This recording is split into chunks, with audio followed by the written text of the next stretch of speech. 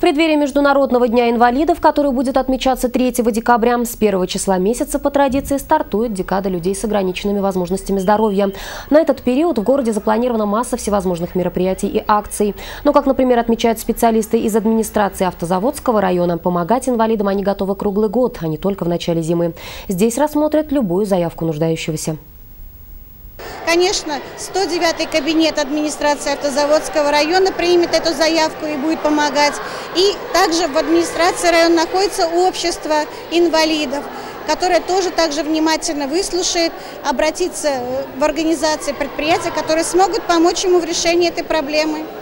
А сегодня в честь начала декады инвалидов в школе номер 15 организовали веселые старты. В них приняли участие пять команд. Четыре представляли коррекционные учебные заведения как раз автозаводского района. Каждый из школьных сборных в итоге присудили победу в отдельной номинации, наградили дипломом и вручили призы.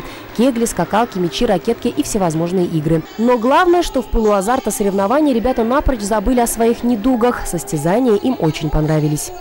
Мне больше всего понравилось бежать, ну и таскать мячик, перекидывать на ручку.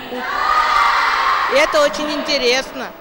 Карате мне еще больше понравилось. И танцы.